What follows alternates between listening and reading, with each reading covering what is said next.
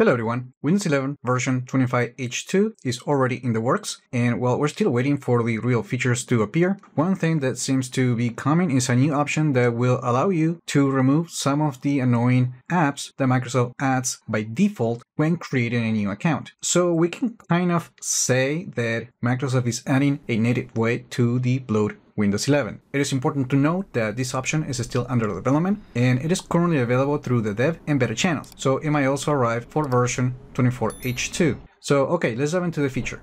First, the option is available in a form of a policy, so it can only be configured through the group policy editor, meaning that it is only available for Windows 11 Pro and higher releases, not Windows 11 Home. Also, since this appears to be aimed to network administrators, there is a good chance that we won't see this setting for Windows 11 Home. However, it might be possible to use the registry to accomplish the same results. Okay, so to take a look at the policy, let's open the group policy editor.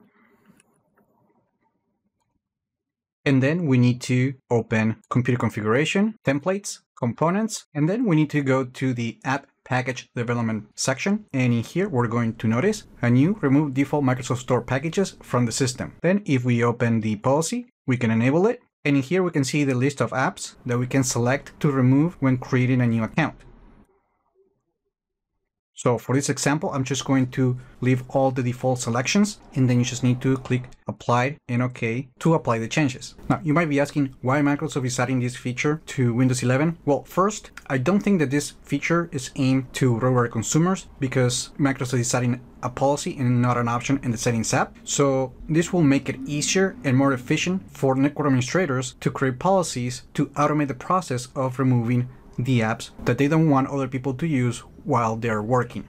Now, also remember that this policy does not debloat the entire operating system. It only removes certain apps that came from the Microsoft Store. So other promotional apps won't be removed using this feature, just to keep in mind. So just to give you an example, I'm going to go to the settings app and then I'm going to create a new local account just to see how this works.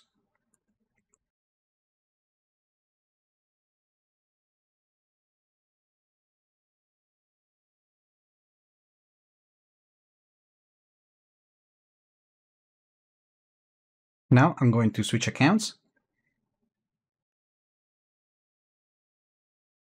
And throughout the process of setting up the account, that policy is going to tell the operating system to remove the Microsoft apps that we selected. Now, if we open the start menu, and then if we look for all the Xbox apps, we can see that nothing is on the system, and the same is true for news, for example.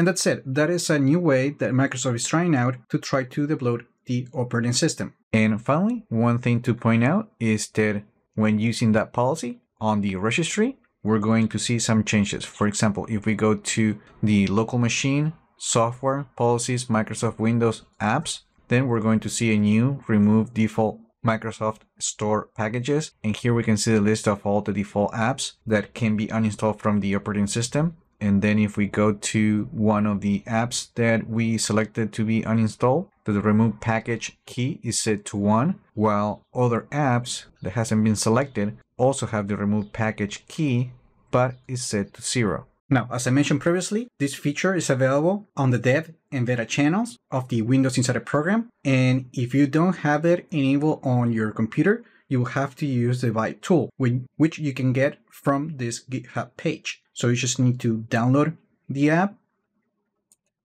Then we need to extract the files.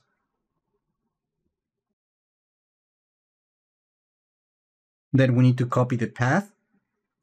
And now we need to open the terminal or command prompt. You want to run it as administrator. Then we need to open the directory where we extracted the files. And then we need to type this command press enter, and then restart the computer. And then you will find the policy on the group policy editor. And that's it, that is a closer look to the newly added option to debloat Windows 11 from most of the Microsoft Store apps. Let me know in the comments what you think about this option. Like the video, share it, subscribe to the channel if you haven't done that yet, and I just hope this video was informative for you, and I would like to thank you for viewing.